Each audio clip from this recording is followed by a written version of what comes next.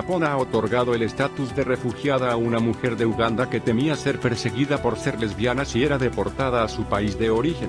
La mujer, que permanece en el anonimato, recibió un estatus de residencia que le permitirá permanecer en Japón durante cinco años.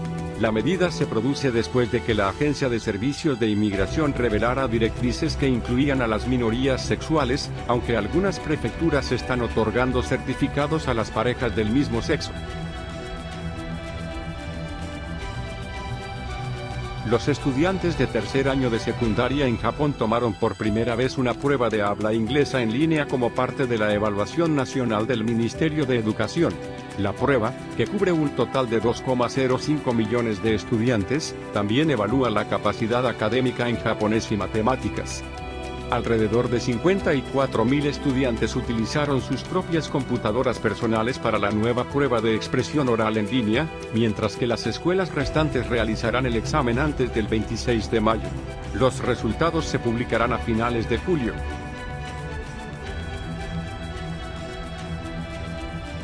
Yoshinoya, el operador de restaurantes de carne de res con arroz de gyudon, está considerando recontratar a empleados jubilados como conductores de camiones para hacer frente a la escasez esperada de conductores debido a las reglas revisadas de horas extras. La compañía ya ha comenzado un experimento en el que los empleados recontratados trabajan como conductores de camiones de corta distancia, y planea examinar si introducir el programa por completo después de expandir la prueba.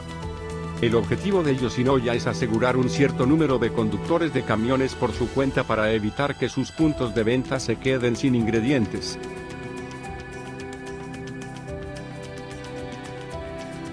El fabricante de pruebas de chips Advantest está experimentando un aumento en la demanda de sus dispositivos de prueba de chips debido al interés en la inteligencia artificial, incluyendo el modelo chat de OpenAI.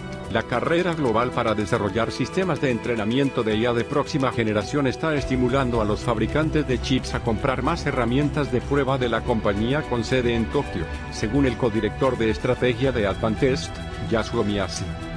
Nvidia y Advanced Micro Devices están entre los clientes que confían en Advantest como su principal proveedor de herramientas de prueba.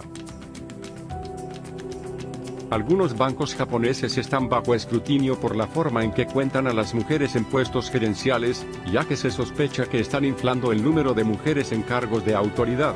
La Agencia de Servicios Financieros encontró una gran discrepancia en las respuestas de una encuesta bancaria regional, con algunos bancos reportando que las mujeres ocupan menos del 10% de los roles gerenciales, mientras que otros reportaron una cifra cercana al 20%. Los jóvenes japoneses valoran la eficiencia en el uso del tiempo y las abreviaturas del idioma japonés, como Taipa, rendimiento de tiempo.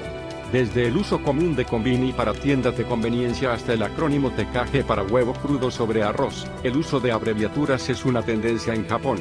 Los jóvenes también utilizan abreviaturas extremas en aplicaciones de mensajería, como Ryoryo en lugar de Ryokai, entendido. Esto también ocasiona confusión para un extranjero. La Organización Nacional de Turismo de Japón anunció que, en marzo, 1,8 millones de visitantes llegaron al país, representando una recuperación del 70% respecto del mismo mes del año pasado. Aunque los vuelos internacionales se están reanudando, la inmigración es un problema, y algunos aeropuertos tienen un tiempo máximo de espera de más de una hora, lo que puede afectar la satisfacción del visitante. El gobierno estableció el objetivo de reducir el tiempo de espera a 20 minutos o menos, pero es difícil lograrlo ya que el número de visitantes a Japón aumenta rápidamente. El número de visitantes chinos a Japón, incluyendo personas ricas, está aumentando rápidamente a pesar de las restricciones del gobierno chino sobre viajes grupales.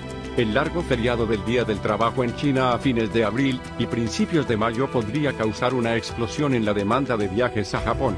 Empresas chinas como Tencent están expandiendo el número de tiendas japonesas que pueden usar WeChat Pay para prepararse para el aumento de turistas chinos. JR Hokkaido presentó su nuevo tren Serie 737, que será la primera operación de una sola persona de la compañía en un tren de cercanías. El nuevo tren reemplaza el 80% de los vagones diésel existentes en la línea Muroran, con un mejor rendimiento de conducción, velocidad e instalaciones sin barreras. El tren incluye baños accesibles y espacios para sillas de ruedas y cochecitos, y el viaje entre Tomakoma y Muroran dura un promedio de 9 minutos y un máximo de 17 minutos. Capcom anunció el lanzamiento del juego Monster Hunter No para septiembre, el cual se desarrollará en colaboración con Niantic, el creador de Pokémon Go. Será el primer juego de la serie en utilizar la información de ubicación del usuario en la vida real. El juego simula la caza de monstruos en el espacio cotidiano, como la versión Monan del Pokémon Go. Capcom transferirá la licencia y Niantic se encargará del desarrollo y distribución. Se probará en beta a partir del 4 de abril y se lanzará en septiembre.